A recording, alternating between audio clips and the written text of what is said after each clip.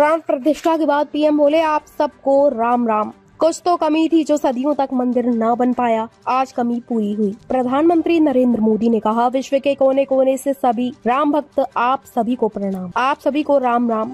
आज हमारे राम आ गए हैं। सदियों की प्रतीक्षा के बाद हमारे राम आ गए हैं। सदियों का अभूतपूर्व धैर्य, अनगिनत बलिदान, तपस्या के बाद हमारे राम आ गए हैं। इस शुभ घड़ी में समस्त देशवासियों को बहुत बहुत बधाई। मैं अभी गर्भगृह में ईश्वरीय चेतना का साक्षी बनकर आपके सामने उपस्थित हूँ। कितना कुछ कहने को है। मेरा शरीर अभी भी संबंधित है। चित्त अभी भी उस पल में लीन है। हमारे राम लला अब टेंट में नहीं रहेंगे। हमारे राम लला अब दिव्य मंदिर में रहेंगे। मेरा पक्का विश्वास, अपार श्रद्धा है कि जो घटित हुआ है, उसकी अनुभूति दुनिया में हर राम भक्त को हो रही होगी। ये माहौल, ये वातावरण, ये ऊर्जा, ये घड़ी हम सब पर प्रभु श्री राम का आशीर्वाद है। 22 जनवरी 2024 का सूरज एक अद्भुत ऊर्जा लेकर आया है। प्रधानमंत्री मोदी ने कहा, राम मंदिर के निर्माण के बाद से देशवासियों में नया उत्साह पैदा हो रहा था। आज हमें सदियों की धरोहर मिली है। श्री राम का मंदिर मिला है। गुलामी की मानसिकता को तोड़कर उठ खड़ा होता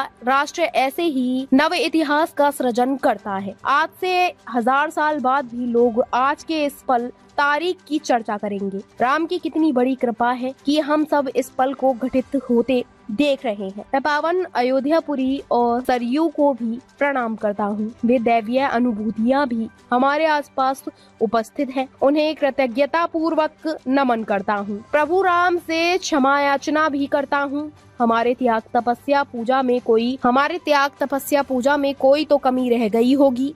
कि इतने साल ये काम नहीं कर पाए। आज ये कमी पूरी हो गई। मुझे विश्वास है कि प्रभु राम हमें अवश्य क्षमा करेंगे। ताज़ा खबरों से जुड़े रहने के लिए हमारे चैनल को सब्सक्राइब करें और बेल आइकन को दबाना ना भूलें, ताकि हर खबर की नोटिफिकेशन आपको मिलती रहे।